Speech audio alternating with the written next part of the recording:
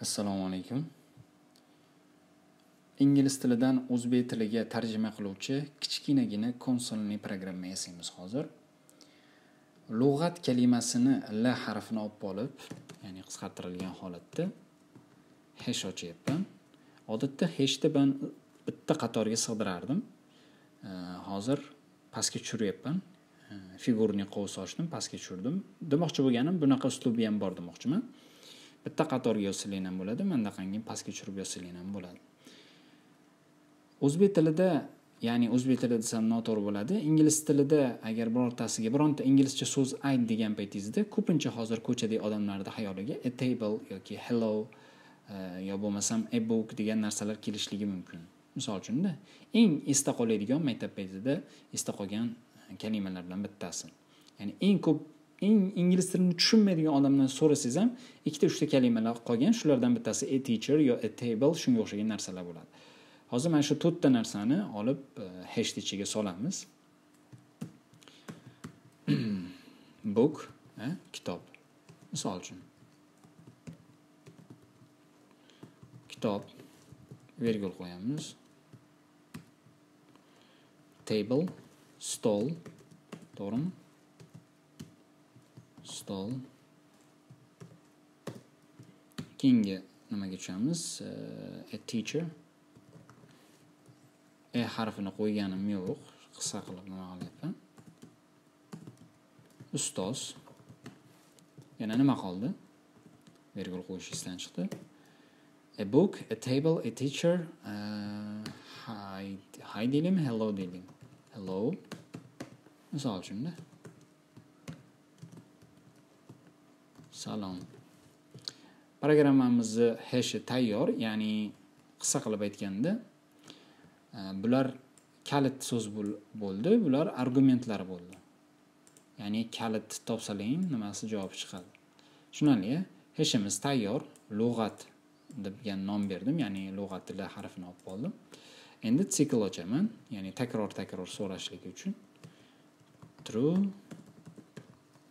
Xohlasalar loopni qo'ysalar ham bo'ladi farqi yo'q. While true'ni o'rniga yozamiz e, print ingliz tilida biror bir kalima yoz.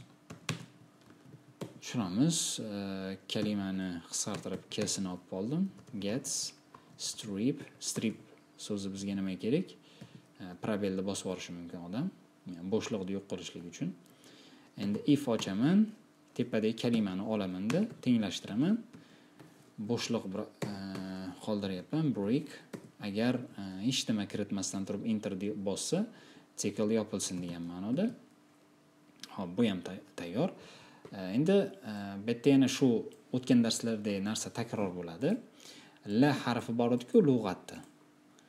Betga mana bunday uslubda yozsa bo'ladi. Masalan e, yangi o'zgaruvchi ochaman yangi variable ochib turib uni otini translate yoki tarjima qo'yishim kerak. Tarjima qo'y o'zbekchada osonroq bo'ladi. Tarjima yozamiz tepada lug'atni olib kelaman. Ya'ni hozir man e, tepadagi lug'atni tarjimaga to'g'irlab qo'ydim. Tarjimasini hozir puts qilib chaqirsam tarjimani o'zini e, mana bu narsalarni nimaga olgan bo'laman.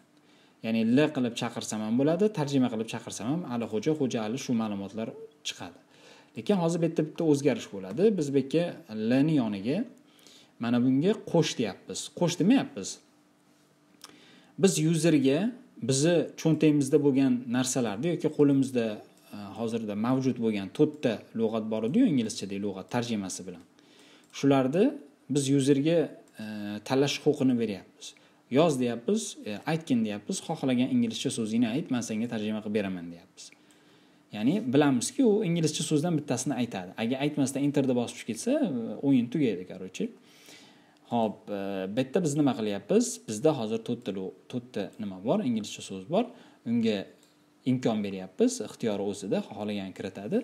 Kiritganini e, biz lug'atimiz ichida bormi yo'qmi ko'r nima qilishlik uchun makka e, yerga to'rtburchak qovus ochamizda. Buni buyruqlarini ya'ni user kiritadigan nimani kni bu yerga yozib qo'yamiz. Nima kiritishidan qat'iy nazar? Bizni nimamizda bormi? Bu ko'rib beradida mana e, to'rtburchak qovus boru. Bizni lug'atimizda nimani ichida bormi yo'qmi ko'rib beradi. Agar book yozsa kitob chiqarib beradi table yozsa stol chiqarib beradida tushunarlimi? Ho'p. Endi pastga yozamiz puts tarjima. Va siklimizni yopamiz. Tarjima programmamiz tayyor. Albatta bitta millionta e, lug'at yo'q. To'rttagina man telegramdagi gruppamizda aytdim. Kichkinagina programma yasanglar dedim.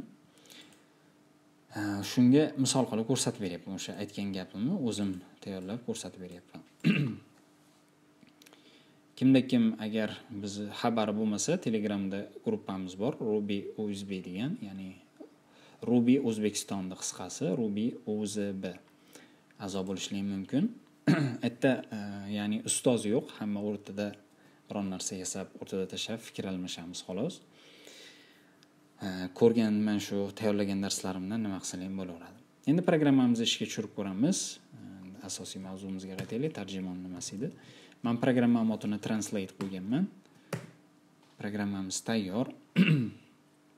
Э, tepada ko'rib turgan narsalaring dars tayyorlashdan oldin bir hazil huzul qilib dars tayyorlagan edim programmamiz so'rayapti. Ingliz tilida biror bir kalima yoz deyapti. Book yozaylik. E book kitob ishlayapti ko'ryapsizlar? A table stol ishlayapti. Teacher ishlayapti. Enterda bosaman. Asliga e, sikldan chiqib ketadi. Mana ko'rib turganlaringdek o'sha aytganimdek tarjima programmasini yasadik. Telegramda ancha oldin aytgandim e, ancha oldin emas yakshanba kuni yakshanba kuni aytgan edim. Mana o'zlaring ham yasab ko'rsalaring bo'ladi. Hozircha shular edi. Xudo xohlasa agar e, nasib qilsa ancha asosiy mavzularda o'tdik. Xudo xohlasa yana takrorlab aytay nasib qilsa opga o'tamiz ya'ni klasslar bilan ishlaymiz metodlar bilan ishlashga harakat qilamiz xudo xohlasa. Bugungi darsimiz shular edi tarjima programmasini yasadik. Keyingi darslarda ko'rishguncha yaxshi qolinglar.